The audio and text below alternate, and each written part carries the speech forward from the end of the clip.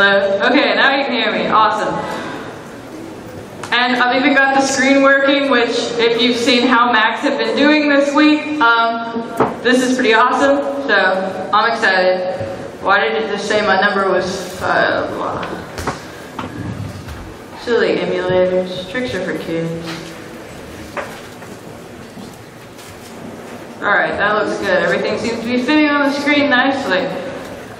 Which is the first step. So, hey BrewCon, anybody here believe in bring your own device? Let's see, our hands up, bring your own device to the workplace. Well, I've got something to say about it. So here it goes. It goes something like this, which is where you cue the music and I start dancing, but not today. Too hungover from last night.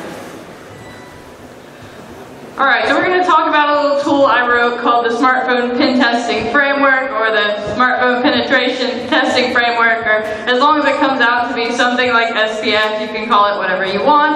I'm Georgia, and I'm CEO of Bolt Security LLC. It has this little disclaimer thing because I did this project with the DARPA Cyber Fast Track program.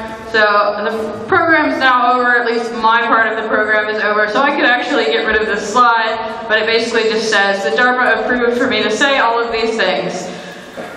And speaking of DARPA, love the DARPA a lot, like lots and lots of hearts, because before I got the DARPA Cyber Fast Track grant, I was junior pen tester at some company, and you know, dead-end career path if there ever was one, and now I'm the CEO and get to come talk to you people, and when I want to go to a conference, I look in the mirror and say, hey Georgia, can I go to the conference? And I'm like, well, okay, if you get all your work done, you can go, which is a lot nicer than having to ask your boss, for real, so. And I recently found out that not only has the DARPA Cyber Fast Track program been extended to the next August for proposals, but also you don't even have to be a U.S. citizen to propose one. So if you have an idea for a project that's novel and interesting and somehow related to, you know, that air quote cyber, then perhaps you should turn in a proposal and get them to give you money to do research. There's really nothing better than that than getting paid for something I would have done anyways. So, our problem with smartphone security. We bring our smartphones into the workplace and they start attaching to things. So who has smartphones in their workplace? Who attaches their smartphone to the network in some way? A lot of people now, and we want to. You know, when I actually had a real job, I had my iPhone on the network and it would pull down my email. I worked from home, so if I wanted to go to the beach and pretend I was at work, as long as I was still answering emails, nobody was the wiser. So being able to put my smartphone in the workplace was really awesome. And they certainly weren't going to pay to buy iPhones for everyone, so they said use the device you've got. There's just one problem with this. Well, there's a myriad of problems with this, but the main problem being, what don't we like when we have devices in the workplace? We don't like out-of-band communication channels. We like to be able to see all your traffic, spy on all our users, and see exactly what they're up to, because that's what we do. However, smartphones, that's pretty much impossible, because they connect to the cell tower. So they're connecting to our servers, so we can see what's going on there. They're pulling down our information. They're reading our emails, storing them there, and whatnot. But there's really no way to tell if absolutely everything that hits that device isn't going out the mobile modem. I, as a security researcher, cannot tell you what's going out through the mobile modem except on my particular device. I can't spy on you guys' devices unless I put up a nice cell tower here and convince you guys to join it. I, in the workplace, cannot say what's going on. So, out-of-band communication at its finest. It wouldn't be a phone otherwise. If I suddenly told all my users, you can't use the cell network anymore, you now have an iPad without cell service that you paid several hundred extra dollars for, you're going to come into my office and tar and feather me. As well you should. But let's think about all the things that smartphones are accessing in the workplace. When I worked at the company where I used to work and I had my smartphone on the network, it would pull down my emails, that was the main function. It would also VPN in. So I had my customer reports sitting there on my phone, my jailbroken iPhone even, so who knows about the security of that. And I had all those reports there. They weren't encrypted. There's no requirement for that. So theoretically, anybody who's on my phone can see all the pen test reports for all of my clients. I'm sure my clients would love to hear about that. But that's the case for most companies. And then when I VPN in, I just become another node on the network. So if I have root on somebody's device and they're just another node on the internal network, well, forget like cracking the perimeter and all the hard stuff. MSO 8067 for the win. I'm already back there. I've also seen them actually generate one-time passwords. Companies will put a custom app on there to generate the one-time passwords to get onto the VPN or log into the email or log into the website. And well, again, if I have read on the phone, I can make it generate the password for me. So that's even worse than password 123. This is just password I can see. So let's talk about some of these threats against our smartphones. The big one that everybody seems to talk about this year is those ever-present apps. And I love apps. When I wiped out my phone to test the USSD attack the other night, it was, I thought I was gonna die, because I didn't have Twitter anymore. What was I gonna do? I can't survive without Twitter. So I had to down, re-download all my apps. First thing you do when you get a phone. A lot of them even come with a lot of the apps already on there, depending on what build you have, which makes it even worse, because then they have system privileges. But we all know about malicious apps. They can happen, they can happen on Android, they can happen on iPhone, they can happen on BlackBerry too, but it's so hard to code for BlackBerry, I don't think any malware writer would bother. So that's why there's no BlackBerry malware. It doesn't have to do with it being particularly secure, it's just that their like app coding practices are so terrible, it makes me want to hit myself over the head over and over and over again, which is why there's no payload in SPF for BlackBerry, not because there can't be, because it may hurt my brain. So this happens on all platforms. A user downloads an app. How do you know this app is secure? You really don't. Even some of your apps from places like Facebook or Google, you don't always see the best development practices. So while they might not be inherently malicious, they may give you insecurities. Like for instance, Facebook used to allow you to uh, send SMSs from inside of Facebook the app as if you need to. They don't anymore. Maybe they listen to me and other people saying this is really silly. But inherently, anybody can write an app. You don't have to go to good coding school to write an app. You can even go to bad coding school and write an app. There's no cert for we have to be this good at writing secure code in order to put something on any of the markets. So there you have it. I can do malicious things and have and so many other people, and it doesn't take a rocket scientist. So if your employees will just go out and download any app, which we know they will, we've all done it, we should all go to uh, addiction counseling for apps. The, our society as a whole is addicted to our smartphones and our applications. If they will download all these malicious apps or potentially malicious apps, especially since there's no way to really tell these are the good apps and these are the bad apps right off the bat, will they just download anything and if they have, what does that mean for your environment? Good luck finding out. There's also software bugs. We saw just this week some of the Samsung devices thought it would be a really cool feature if we could pull up special codes on our devices and automatically run them without any user input. Great feature, except it allowed people to remotely wipe your phone via a client-side attack. We'll actually look at that. It's in SPF now. I put it in yesterday, so we'll actually see that work. So these bugs happen. Writing secure software is hard. Writing secure apps is hard. Writing secure kernels is hard. I mean, we see it over and over again. Windows, Linux, Mac. Mac doesn't get viruses though, right? So that means iOS could never have any viruses either, right? Charlie Miller did not, in fact, write a malicious app. That was all hype, right? That never actually happened. Okay, we all know it did happen. So yes, kernels have bugs. Android is just a forked Linux kernel.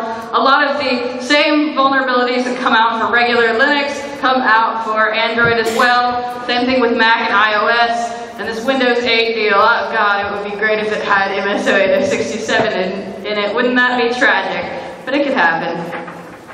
So our browsers have bugs too. We see some of the newest iOS jailbreaks when iOS 4.0 came out and they said no one will ever jailbreak this device. And then like two days later a 16 year old kid did. That was through the browser, because they're like, you can't run unsigned code ever. But then you have to run unsigned code in your browser so you can render web pages. And if you can't render web pages, what's everybody gonna do? They're gonna go buy an Android, which is the last thing Apple wants.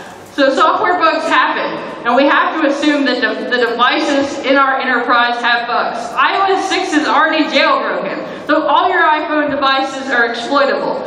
Same thing with your Android. I can't think of a version, Jelly Bean's already rooted, they root them immediately. There's so many really smart people working on this, we have to assume that there's a way to exploit these devices. Not necessarily remotely, but via client side or, or tricking the user in some other way, we can potentially exploit every device in the environment that's a mobile device. So you might say the same thing about the PCs as well, but we kind of overlook this about the mobile devices. And then there's our favorite bug ever, the one that will never ever be patched. No matter how much security you put in the workplace, if your users will respond to my phishing attack and give me their email password, then I can start seeing your data. End of story. If you have VPN passwords, then they'll do the same thing once again. And you know, you'd be like, oh, we do two factor. So I call up your people and say, I'm having trouble getting into your account. Can you show me what it says on your little token fob? And there we go. Users will continue to do this. I used to think no one would ever fall for a stupid phishing email attack, but then I started doing them at work. And I don't even do a really good job. I send out an email that says, Hi, I'm the phishing tester. Please give me your credentials. Dear God, what is wrong? So, my idea is that no amount of user awareness training is ever going to work. I used to put it on all my slides. User awareness training will save the world from smartphone insecurity. That is not true. It will never happen. This will continue to happen forever. User awareness training does not work. So if even if your users are the best kind ever and they will never ever click on a link in an email from georgia at gmail.com or I am a hacker at gmail.com or your company HR at gmail.com, they will never answer my phone call and give me their credentials over the phone when I'm pretending to be their boss who they of course have never met because he's in some other country. But I don't really sound like an old man, do I? But anyhow, if they, even if they won't do that, Switch over to smartphones. Start looking at SMSs. So we've done our user awareness training. We have our set set of rules. We cannot click on links in emails. This is an SMS. How can a text message hurt me? It's made of text. Text cannot hurt you. And then I open it in my browser, and then it's over. I could also just send them a link to an app and say, hey, this is really awesome, and it turns all your Angry Birds characters bright pink and everyone will download it, and I can just get them that way. So if I can convince your users to run things on my behalf, that makes it that much easier. And we're starting to see this in the wild. I'm not sure if you're seeing it here, but I may get more text message spam than most since I use my real numbers in demos, but I get messages that say, you've won a $1,000 Target gift card. And I'm like, yes, I get new stuff. I love Target stuff. It's lots of nice electronics, but sadly, it's not really a gift card. It's just a malicious SMS. But it took me a minute to think of that, you know, this was early in the morning. So I think probably that's gonna get most people. I would really like a Target gift card. You know, it's like when you get those emails from the, the phishing people trying to, and they're like, I have all this money, I'm rich and I'm dying and I live in some foreign country, just give me your bank account credentials. You could just find the one that was legit and make all that money, it might be worth all those other times you gave up all your money. So, I mean, I can see why people fall for social engineering attacks. I really can. There's gotta be somebody who wants to give their money away, right? And then there's our favorite thing to do, particularly in the iPhone world, and that is jailbreaking. So we can jailbreak all our smartphones and get complete control of them and turn them into a microwave if we want to, but Apple doesn't like that. Sony doesn't like that either. They like it less than anybody. It really annoys me when I have to update my PlayStation in order to watch Netflix and I lose my Linux partition. That's lame.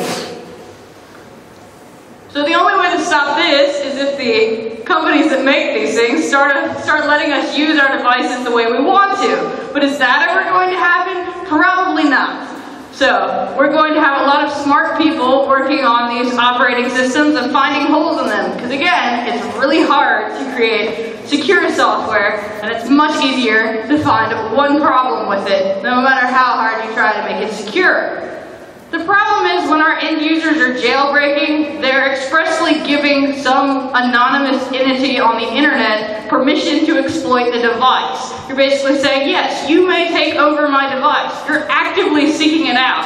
So if I Google for jailbreak my iPhone and put in the version number, I'm to get some good ones by some good people who really just want to do good for the community, and I'm going to get some jailbreaks that are really nasty that they give you the jailbreak you want, you get root privileges, but they join you to a botnet, they steal all your data, and they have root privileges, and you've asked them to do it. So can you really even blame them? I wonder if it's even illegal. If you expressly tell them to take over your device, if they harm you, you kind of deserve it, right? I can't really say yay or nay on that. So I, as a smartphone, pin tester, security expert person have a hard enough time being like, which of these jailbreaks is good? Oh, this one has source code. Oh, it's all in assembly. Good luck reading what that does. Anybody here can read assembly? Like really, really well? Me neither. There's a couple. All right. So for most people, even those well-educated, I mean, who, how do you even know what's a good jailbreak and what's a bad one? I have no idea. And certainly my end users who jailbreaking their devices and bringing them into the workplace don't know either.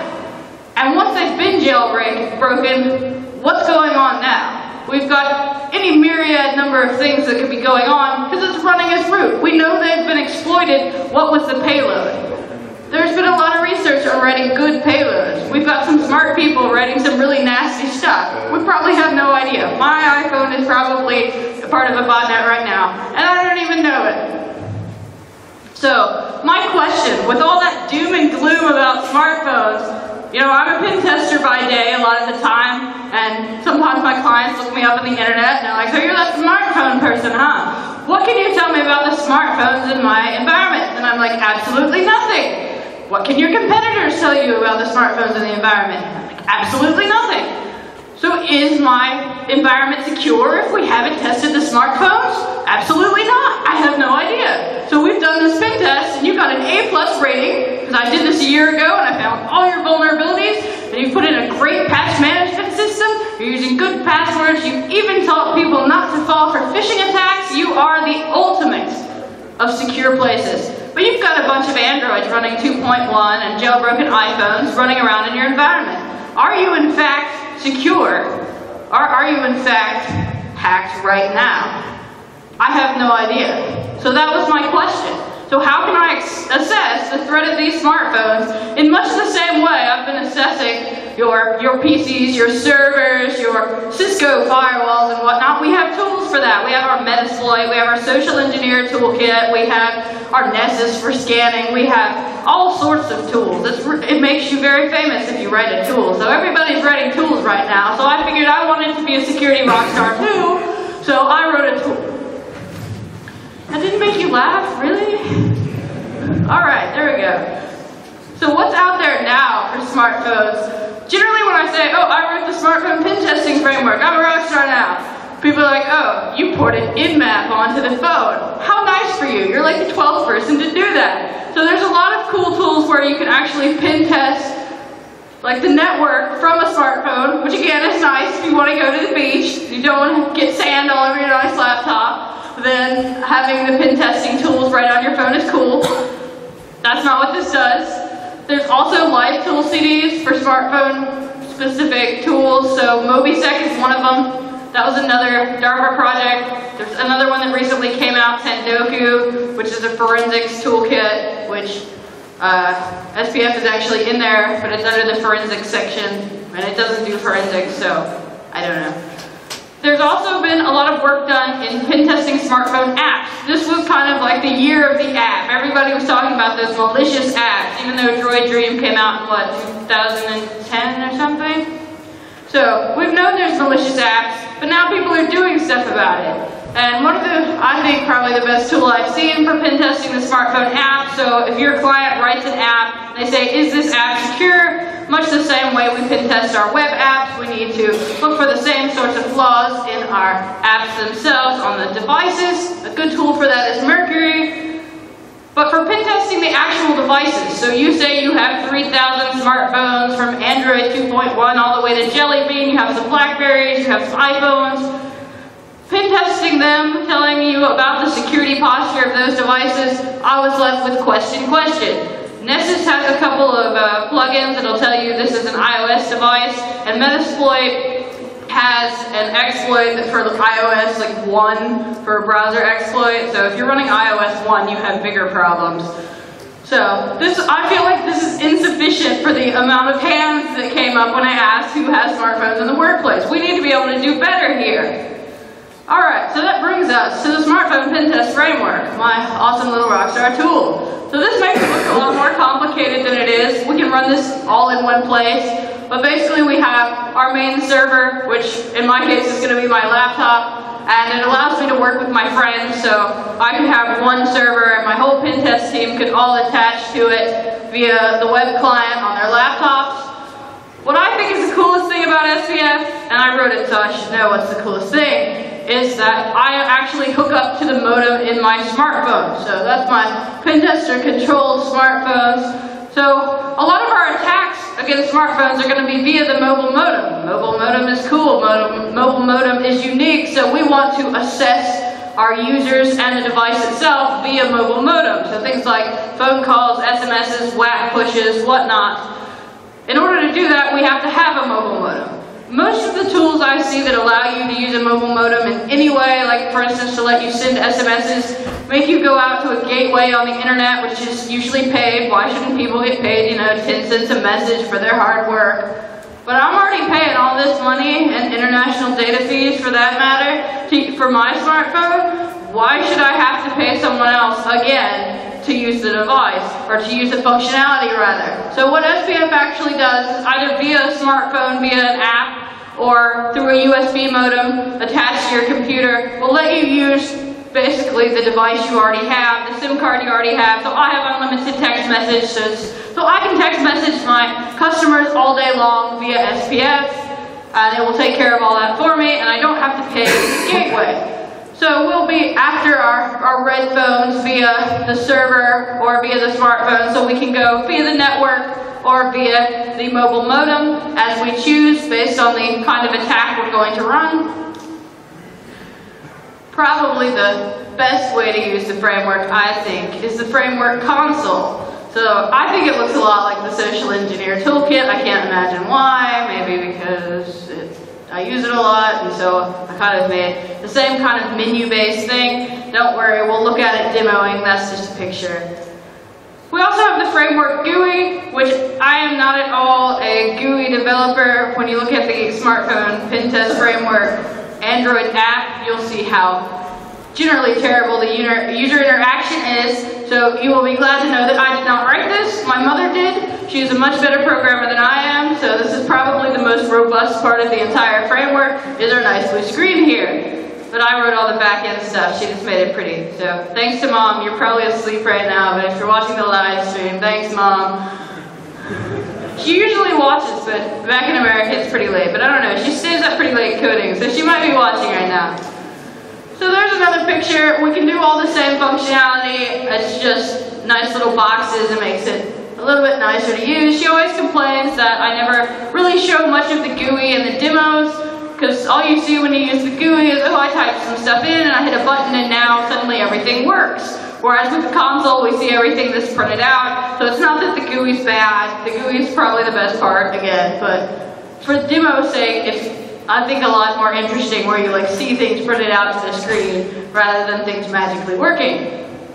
And we also have the smartphone app so this is what allows us to use the mobile modem, so it attaches to the mobile modem and then can send commands via the mobile modem in the background until we detach it, so it basically can take over your device, so use it well. But we can also run some of the functionality of SPF, not all of it, but some of it. For instance, you can't detach the mobile modem or, or clear the database. So things that don't make sense to be done from an auxiliary device, you can't do. But sending commands and running attacks, we can do it actually from the device as well. So that's kind of nice again if you want to go to the beach.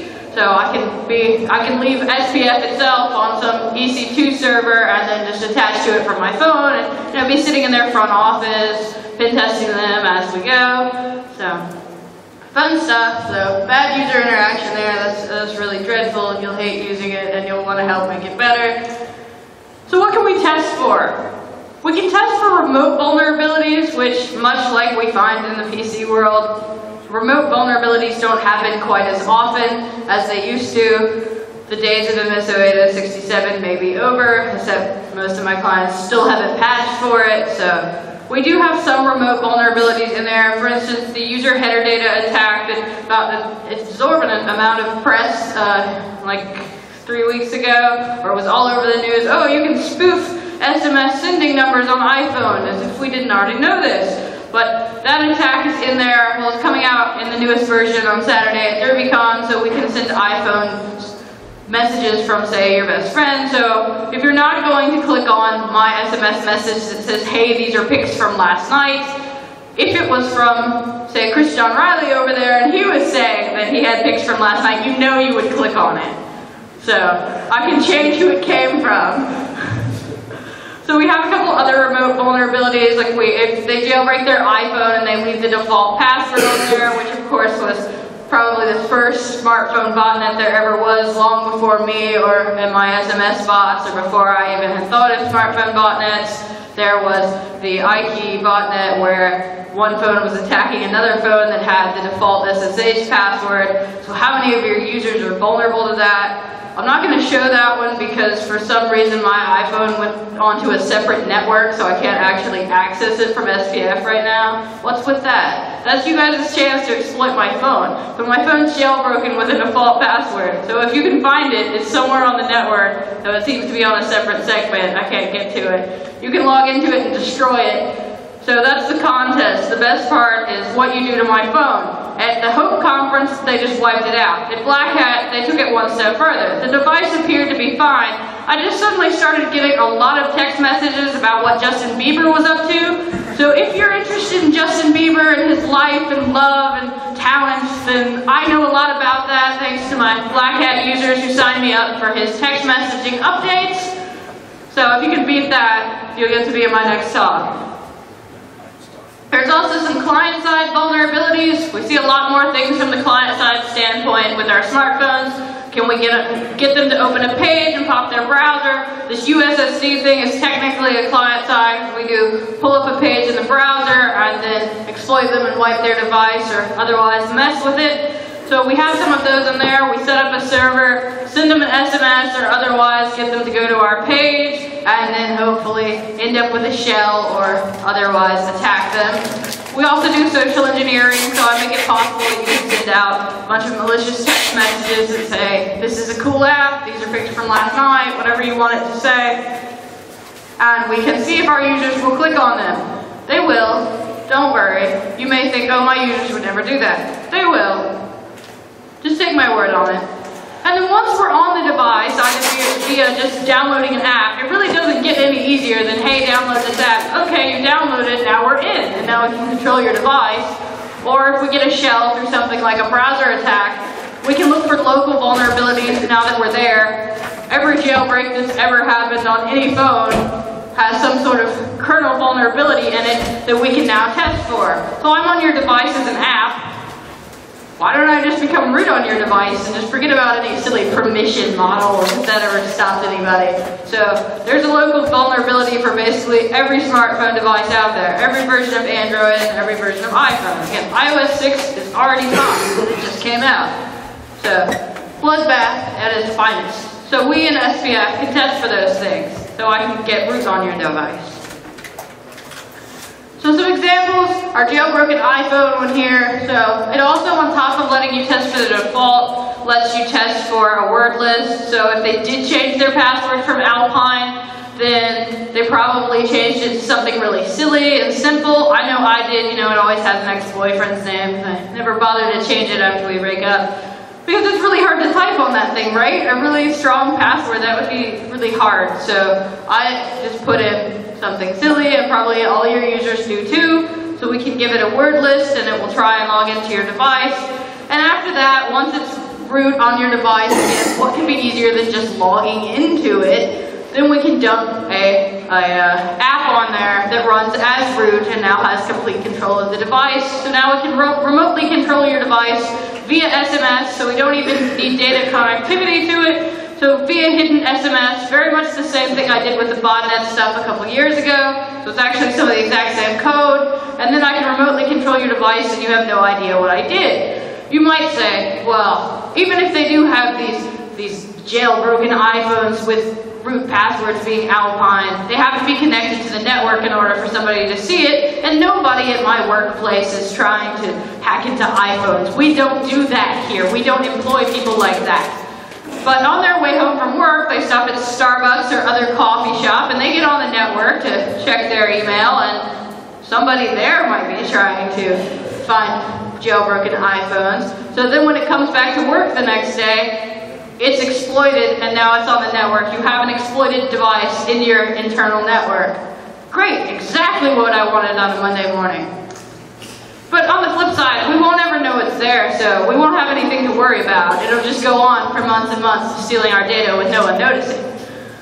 So we also have client side. So an example of that, we'll, we'll actually look at one um, where we're going to do one of the Android WebKit vulnerabilities. It seems like over and over and over again, WebKit just becomes vulnerable to things, and we find exploits for it. So lots of things there. If I can make you open up a page in your browser on your phone, then perhaps I can exploit that browser. Same thing we've been doing with Java, IE, and everything else lately. So are the smartphone browsers in your organization vulnerable to browser exploits, I asked you? Can anybody answer that question? Can anybody tell me yes or no? Do you know the exact mobile browser versions on all of your devices? Do you even know the exact browser number version thing on your own smartphone device? Anybody? All right, fair enough. I don't either, honestly. And then our social engineering. This gets them every time. I think SMS is the new email.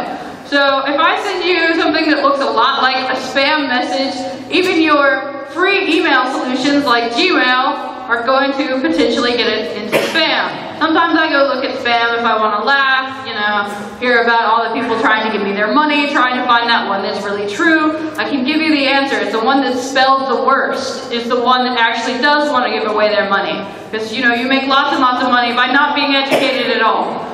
So, that's the one that's true. But that's a side note. But if I send an SMS and it says exactly what that big Target one that was going around that said, you want a Target gift card, go to this link, there's no filtering for that. Some of your mobile security apps will let you filter based on phone number, so I can say this person spams. Well, especially with the iPhone where I can change it through user header data, I can get around that entirely. So I just change my number, and then I can just start spamming you again. So I think SMS is the new email for spamming and phishing. I think it's going to blow up in the worst way imaginable. You're going to start getting so many of those messages, not even going to know what to do with yourself. And our users, not really having any education about this, are just going to go, oh, Target gift card, oh, free car, and just keep clicking on them. Why not? So, will the users in your environment click on them? I'll go ahead and answer that for you. Yes, they will.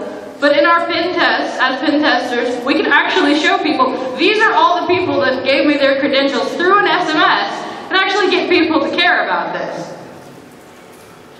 And then, for example, for our local vulnerabilities, so once I'm actually on the device, for instance, I could run something like exploit or rage against the cage or jailbreak me 3.0 on our iPhones. So I can just run it locally. I'm already on the device. I can load the code if I don't already have it. I can pull out and get it. So I could even have agents that update themselves. So when new exploit code comes out, all our agents that are already on the devices start pulling it down. So typical botnet stuff. Really that's all the agents are is a, a botnet for good that you can use in your pen test. So. Are the smartphones in your environment vulnerable to local privilege escalations? This is one you can answer. Yes, they are. So, We know that this is true, but let's show that CEO that I got root on their phone and stole everything from them. And then from our post-exploitation standpoint, we're either going to get a command shell or we're going to drop an app onto their phone. If we can get root, we can just drop the app as root and then it doesn't even run in user space. Or if we manage to just get them to download it, we can have an app in user space. We can package it with something normal. This is exactly what Droid Dream did and every other Android malicious app. They look normal, they run malicious code in the background, then they get root, and they take over your phone. We do the same thing here. If the bad guys are doing it, we should be testing for it, right? That's how security works. But that's not how security works for smartphones right now. Bad guys are doing it, and we're not testing for it. So with SPF, we can test for it. We can also test for, I'm on your device, what information can I pull from you? You know, typical post-exploitation for a pen test. So I'm on your device, now I can see all your source code. I'm on your smartphone, now I can see all your emails. And we can also remotely control the device, like I have it take a picture, so I can have it take a picture of you. Um, somebody requested that I take a sound recording, so that'll be a new one. I'm working on GPS right now. It's pulling the GPS credentials, but I haven't turned it into Google Maps yet, but it's going to plot the last place the device was on Google Maps, you can see exactly where people are. So really nasty stuff. But this, again, the same sort of nasty stuff that malicious attackers are doing. So, you know, I'm not a really good coder, and if I can do this, then, you know, the, the level of the competence required to be a smartphone hacker isn't really that high, so we should be worried. Alright, let's do some demos, shall we? Enough talk, silly slides. So I, I didn't use slides in my class this week, and everybody complained that why are there no slides? So I guess slides have their use, I just don't know what it is. So I have some emulators here and I have SPF here. It's actually in Backtrack 5R3 by default now, but it's the earliest version. Backtrack 5R3 came out at about the same time SPF did. So I start up SPF, I'm here in the console, and I have my nice menu. First thing I'm going to do is clear my database, every time I demo this, I run a lot of nasty exploits, and I just want to be able to see what happened in this demo. So I clear out my database. SPF works with either MySQL or PostgreSQL, so whichever one you want to install, you just give it a config option and it will use either of those as you like. So I'm not going to do the remote attack because my iPhone is on a different network and I don't know why. So let's go ahead and attach a mobile modem. So I'm going to attach to the Smart Smartphone Pentest Framework app, which is on this guy. And all of the apps, so the agent, which is our malicious app that we give to our customers, or we exploit them with, that, and the smartphone Pentest framework app, which is controlled by us, they both run on, on uh, well, the Android versions run on any Android version of Android 1.6 or later, so G1 and later, this will work for everybody. I'm going to go ahead and attach this. What's my IP address? Always a good thing to know. Oh, now you guys can start attacking this guy too. So 10.4.1.222, that's the guy you want to kill in the talk. So zoom in so you guys can see it. Alright, so I want to attach to a smartphone based app. Or I can also search for an attached USB modem, but I currently don't have any on here. But I will show that at DerbyCon, so if anybody's like me running across back to America to go to DerbyCon this weekend, you can see it there. So I'm just going to give it the phone number of the mobile modem, and I gave it too many fives, which is what I did at Black Hat and made it break. I want to give it a control key, so basically if someone knows that SPF is in the environment, they can't just take over SPF. The last thing we want is to be pen testing someone and then malicious things start happening because somebody took over our framework. Key key one is a terrible key, but it's easy to type, so use a better one. And URL path, so where do I want it to check in on my web server? Brucon is a good one, I think. I may have already used Brucon, and then it'll complain. No, I didn't. Okay, so now it's waiting for the app to check in, so they're basically just going to do a handshake with each other. What did I say my IP was? 10.4.1? No user interaction here, huh? You guys won't tell me? You know you know what it is. And then I give it to, see, terrible user interaction here. Somebody should really rewrite this who knows how to write nice, user-friendly apps. So I give it the same information, where to check in, and give it the key, and then they're going to attach with each other, and it'll allow me to use this mobile modem for attacks. Key, key one. Why Mac decided to break this, I do not. And then I click attach, and now my server and my phone are attached to each other, so now I'm able to use this mobile modem for my attacks. I don't have to buy any paid services. Yay, win. Okay, so let's run some social engineering client-side attacks. So number six, so you'll see the USSD things are in here, so let's do that. My emulators are not vulnerable to the wipe, but they are vulnerable to the check you're seeing on the internet where it pulls up the IMEI number. So I have both of them in here, a safe check and a malicious check. Don't use the malicious one on your pin test without permission, of course, because if you find a vulnerable phone, you may wipe their phone. It actually goes a step further. My S3, before I applied the patch the first time, it opened up the, the code to wipe the phone in the dialer, so then the user had to click send, which they may not. They might hit the back button, in which case they go back to the browser, right? Because that's the last place you were. But then there was this weird caveat to the first patch that that the second time you did it, it didn't pull it up in the dialer, it just wiped it. So I had the page automatically refresh, so it sent it to you again. So when the user hit back, it would wipe them anyways. So this may work on more phones than some of the uh, other demos you've seen. So I have that in there where it refreshes. So if it, for some reason, like my phone did, it, it works the second time, this tries that. So I'm just going to do the safe check so it'll work against my emulator. I'm going to say number three, it asks me where on my web server I would like to host this. Rucon 2 works for me. What would I like to call it? Rucon.html works. And who would I like to send this to? What phone number would I like to attack? So I will attack my poor little victim emulator who just gets attacked over and over and over day after day its whole function. So it sets up that web page for me, and it tells my attached mobile modem that it wants me to send a message. So from 5554, which is my jelly beans guy that is that has the app, it sent a text message to 5558 that says this is a cool page. And if I open up this page in my mobile browser, because I'm a curious sort,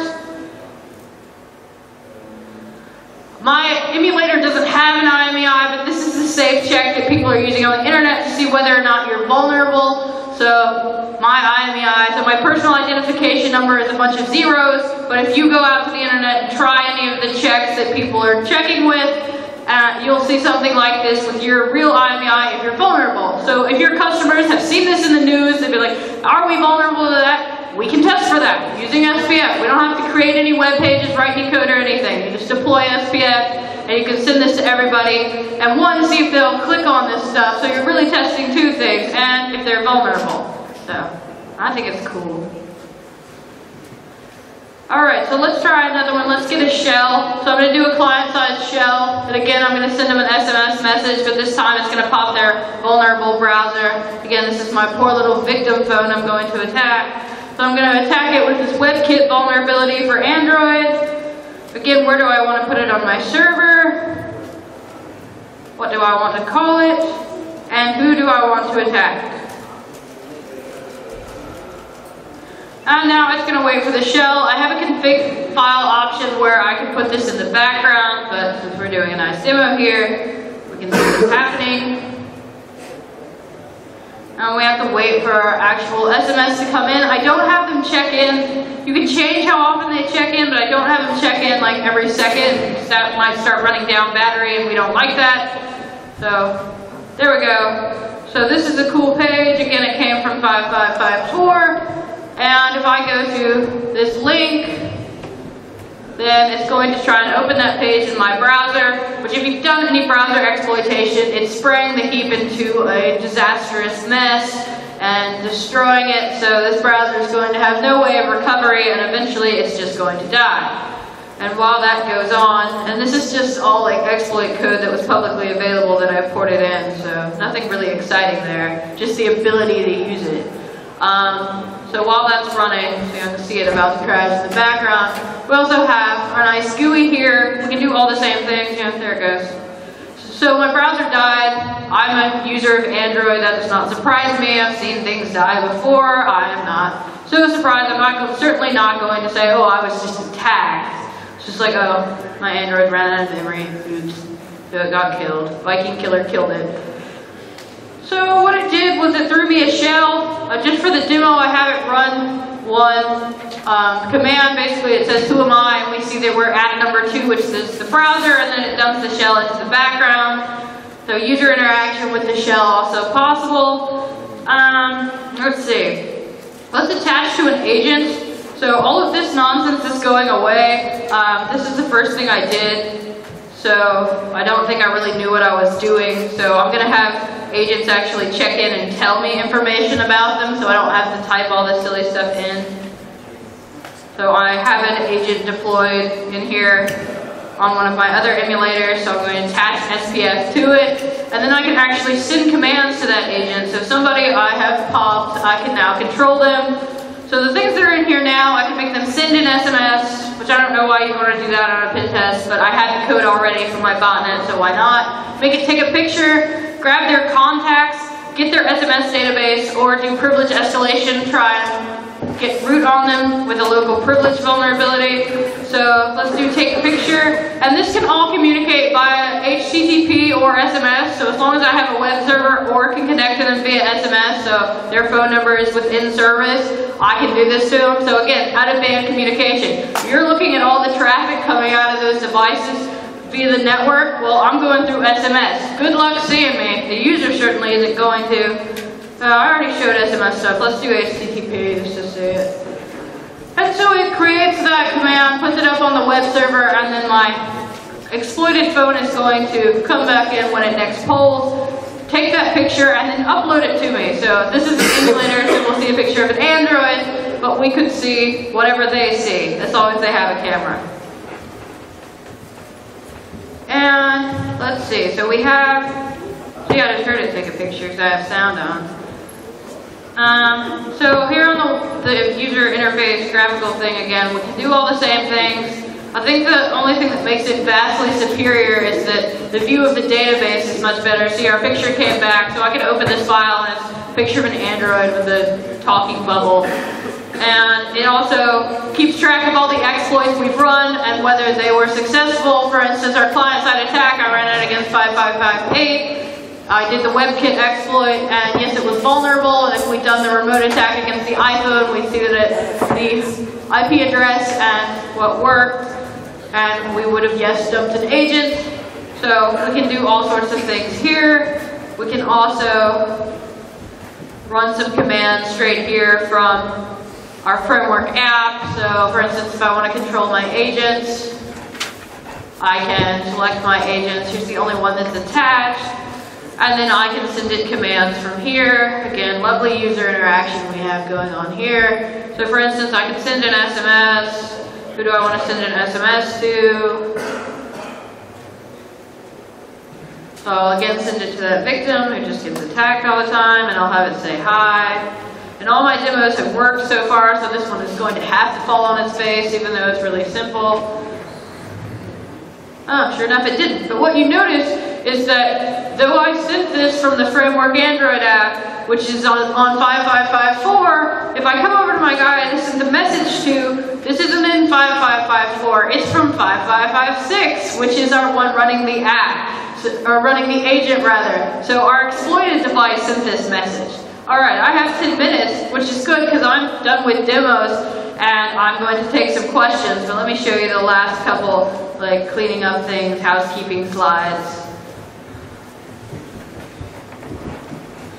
So mitigation strategies for this. I get questions, what can we do to stop this? So theoretically, antivirus should see, especially when I'm doing local privilege escalation, and you know, I'm not that smart. I just paste it in people's public exploit code straight off the internet. The same thing Droid Dream did, mind you, they stole it from Z4 root. So antivirus should be seeing this theoretically. None of the antivirus I've looked at have. And even if they did, I could do things like obfuscate it or have it pull it down later after antivirus has checked it. But as of right now, antivirus is not seeing my agents. There's nothing really to stop it from updating to see exactly what my agent does. But we could build custom agents and I really don't, I don't think mobile antivirus is ready to do as well as PC antivirus is doing at catching Meterpreter these days. I think we're a ways off. We've also got things like MDM solutions. So are your MDM solutions stopping this? Nothing that I've looked at has. I was giving a talk on Android permissions and somebody raised their hand and said, you know, they say we can't jailbreak our devices and have them on the network, but then I got past our MDM solution by changing bin SU for super user to bin SU1, and it didn't see it anymore. So like mobile antivirus, I don't think MDM is yet up to the task. If you have an MDM, or mobile device management rather, I shouldn't use acronyms. They tell you not to do that in talks. But if you have one that you think can stand up to this, I would love to see it. I really would. I think there's a lot to be done in the mobile device management area and the antivirus area. I'm actually working on the defensive side now, so hopefully the next time you see me, I'll be talking about defensive things and actually stopping my own toolkit. And then our other option is can we take the smartphones out of the workplace? And there's no way that's going to happen because if I can't check my email when I'm at the beach, there's going to be a problem. So future of the project, more modules in each category. This just came out in August, so porting in every vulnerability, like just since this has come out, we've had that big user header data thing, iOS 6 got jailbroken, and this USSD thing that I showed you, all in like the span of a month. A lot of people are working in mobile, so there's a lot of old stuff to port back in that still works, since nobody updates their devices, or in the case of Android, you're not even allowed to because they won't update you past like Android 2.2 if your phone is more than a year old. So getting more modules in, more post-exploitation options like the GPS, taking a recording. So there's many things you can do with these devices. I want to be able to do all of them straight from SPF. And I want to integrate with other tools. I'm trying to integrate with the Pwn plug at DerbyCon. We're going to try and code it sitting at the booth. So actually in the Pwn plug Elite have all of SPF, including the modem just being the little device hook up with things like Metasploit and Social Engineer Toolkit, doing some stuff with uh, AirCrack as well so people realize that most of your phones, I think everything except the Windows phone, if it, for instance, if we're attached to the Brucon network, and I put up a Brucon network here and I'm closer, you guys will attach to me, which is not a new exploit, but apparently your phones still do this. And I really want to see some community-driven things. So if you like this, if you thought, uh-huh, this would be really awesome if it did this, I'd love to hear from you. And if you're a coder and want to be involved, I'd love to hear from you as well. So just me coding this and now a couple other people is not that great, particularly since I'm such a bad coder. People laugh at my code a lot. So if you would like to be involved or just have ideas for it, Please do get in contact with me. I want this to become the next Metasploit, so I need all of you to be involved. I need SPF fanboys and girls. And I also want more reporting capabilities, better than just that nice interface, because I don't like writing reports, and I think tools that write reports for you are awesome. So this is me, and now I'll take some questions. Any questions, anyone? Stick hand up. Sorry. Did I bore you guys all so much you don't have anything to say to me? Coming, Chris. I should be scared. I can see it coming. Here comes the troll. I'm not even going to laugh, it's really Um, how modular is it? Is it easy for people to write modules, or are they going to have to write, actually edit the framework itself to actually get new modules in? So the question is, how modular is it? Like, if you wanted to contribute something, how hard would it be? I would like to make it more modular. It's pretty modular now. You wouldn't have to change any of the existing code. You just paste your code into it and then like call send SMS or call make file or so there would be a, a, certain amount of learning curve but I write codes as if there's nothing but primitives so it's pretty easy to read what I'm doing but I would like to see it become entirely modular like with Metasploit right where you don't really have to know anything about what's going on you just call connect and send and so I'd like to see it become more like that, but I don't think there's much of a learning curve right now, but send me some modules and we'll find out. Any other questions?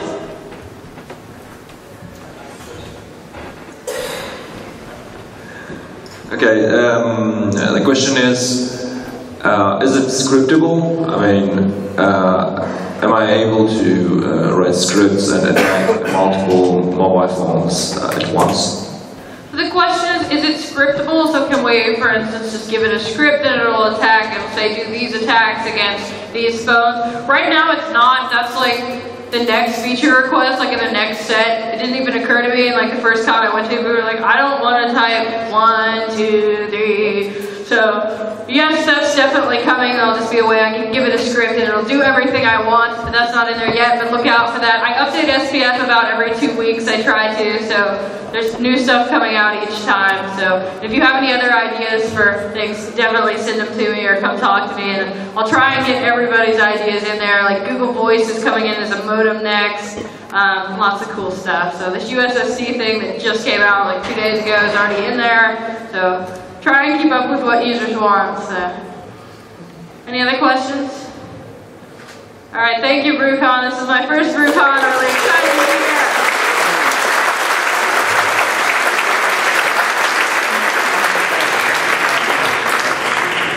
George will be around for the rest of the day. So Yeah, if you've got questions, buy drinks, and ask questions. Yes, drinks are good. I like those. So Andres is up next with um, remote access tools, uh, stories from the trenches, which I'm looking forward to. Stick around. Um, after that is lunch, free lunch. I'm not going to sing the lumberjack song. You should sing it. No.